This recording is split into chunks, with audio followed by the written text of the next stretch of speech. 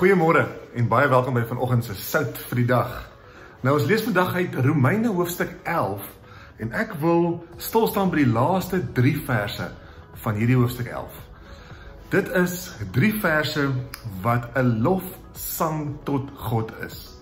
En ek wil jou uitdaag in hierdie dag om hierdie 3 verse weer te gaan lees en ek gaan dit nou vir jou lees, maar weer te gaan lees op jou eie en so 'n bietjie daaroor te gaan mediteer want dit dit Dit praat oor die grootheid van God en wie God is. En hoor gesaam my, ek lees uit die Nuwe Lewende Vertaling. Vers 33 sê: Hoe ongelooflik wonderlik is God nie. Hoe ontsaglik ryk en wys en vol kennis is hy nie. Sy beslissings gaan ons begrip te bowe. Sy manier van doen kan ons nie deurvors nie. Hoe mooi die Afrikaans daar. En dis daarom baie waar. Ons as mens is so klein in ons denke en verstaan van wie God is. God is soveel groter as wat ek en jy ooit sal verstaan. En soms kyk ons net vas in ons omstandighede of die nou, die swaar kry, die dinge wat nie sin maak nie. Die die werk verloor oomblik, die siek wees oomblik of wat ook al mag wees, maar God is soveel groter en hy's onverstaanbaar groot En en ons moet net dit besef en dis my uitdaging hierdie hierdie oggend aan jou dat God is in beheer. God is goed. God is liefde. En niks wat ooit met my gebeur of nie met my gebeur kan of sal ooit verander wie God is nie. God is goed vandag. Vers 34. Wie van ons kan regtig verstaan hoe God dink? As mens net na die natuur kyk en sien hoe alles gemaak is en hoe God alles bymekaar hou, die grootheid van God gaan my verstand te bowe.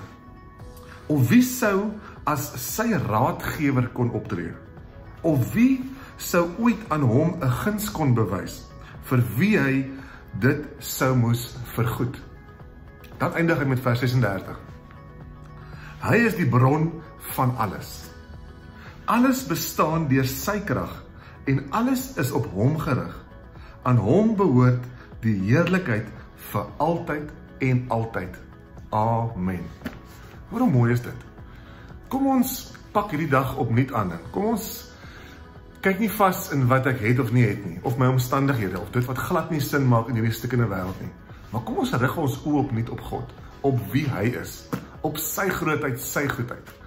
En dis baie moeilik om om hierdie eers aan te dink sonder om eenvoudig soms net te glo aan wie hy is. In Hebreërs 11 leer ons mos daar in vers 6 dat dit onmoontlik is om God te behaag sonder geloof. So iewers moet ek eenvoudig net kan glo en vertrou in wie God is ten spyte van my omstandighede en ten spyte van my uitdagings. So ek wil jou hierdie dag aanmoedig met hierdie gedeelte.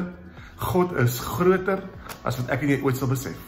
Hy is vir ons so lief meer as wat ons ooit sal verstaan. Dis wie my en jou God in hierdie dag is. Mag dit vir jou 'n 'n troos wees, 'n anker wees, 'n bemoediging wees ongeag wat vir jou voorlê in hierdie dag en die res van hierdie week.